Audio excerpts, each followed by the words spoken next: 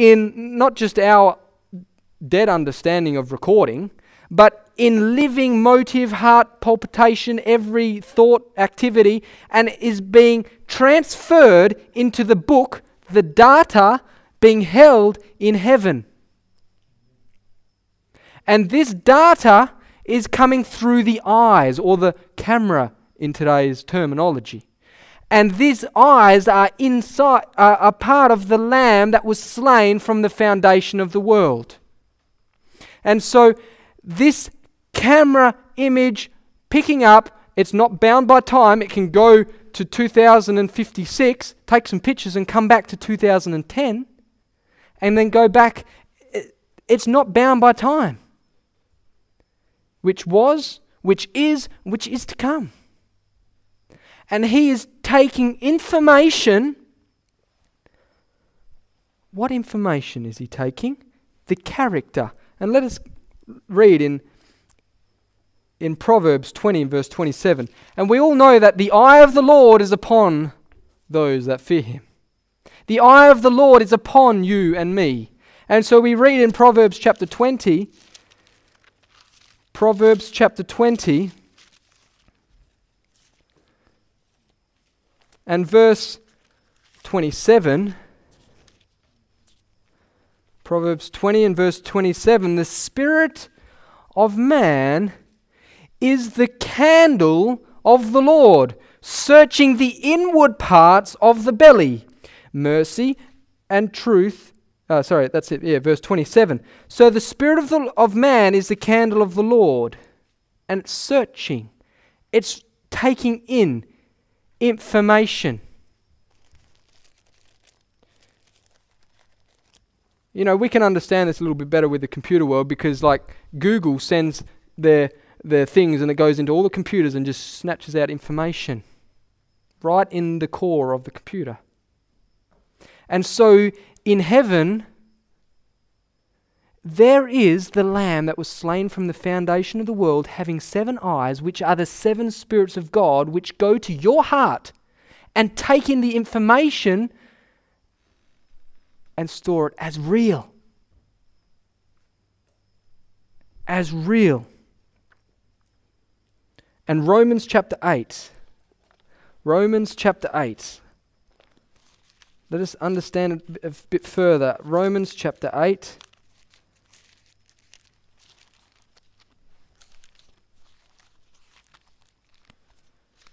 And verse Romans 8 and verse um, 26 and 27. Likewise, the Spirit also helpeth our infirmities, for we know not what we should pray for as we ought, but the Spirit itself makes intercession for us with groanings which cannot be uttered.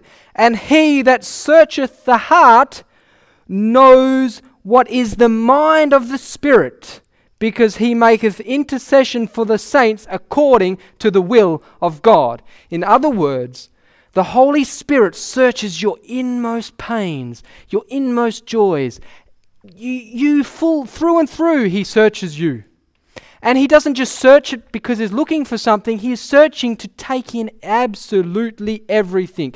Sin or no sin, he's taking it in and that is being transferred to the Lamb, Jesus Christ.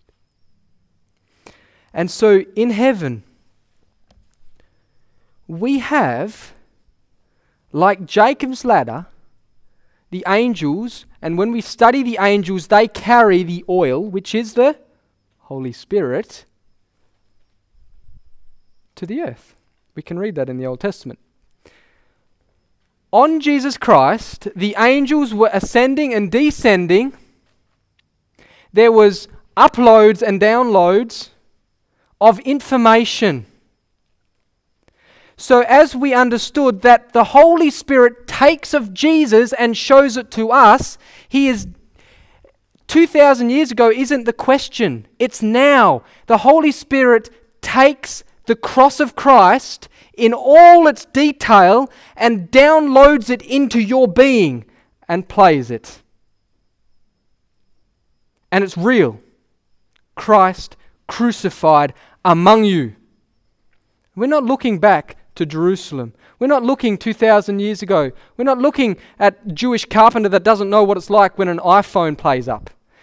we're not looking at someone who, who doesn't know what it's like when your car breaks down or when you, when you get your finger stabbed with a needle from sewing with the modern machines or whatever it is, whatever suffering it is. It's not a case of, well, he was back there and I'm now here. He doesn't know what it's like to be addicted to Coca Cola. There was no Coca Cola. He doesn't know what it's like to uh, smoke cigarettes because there was no cigarettes. The fact is that uh, that which you suffer has been uploaded to Jesus Christ, the Lamb slain from the foundation of the world. And it was loaded before we were born.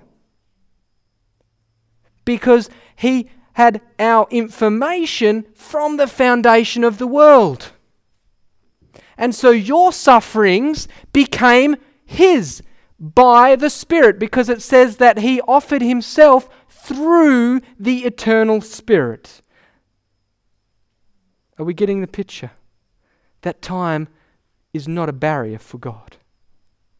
That your modern day trials, that your modern experience, that all the stresses of your life have been searched out by God's Spirit, who knows everything, more suffering than you even realize you had, and has taken that and has played it out in real terms, feeling and thought and everything in Jesus Christ. So when we come past the waymark, who are we looking at? Us. And then, when we have had this experience, when we believe, we have the Holy Spirit of promise, the earnest. When we receive that earnest, then when we look at the cross of Christ and that earnest plays it in front of us, then we can say, I am crucified with Christ. Because it's not nothing to us that we pass by. It is everything to us because it's us. That's why it should be everything to us. Not that, is it nothing to you, as in, don't you care? Some people care, but it's not them. At least they don't see it as them. Jesus Christ was made to be sin for us, who knew no sin. He bore our sins in his body on the tree. He bore the sins of the world. 2010, the antediluvian world brought together in the body of the Lord Jesus Christ. And so when we, when we see him, we know Romans chapter 6, verse 6, and it says, Romans 6, verse 6, knowing this. Now, this knowing is not just a theoretical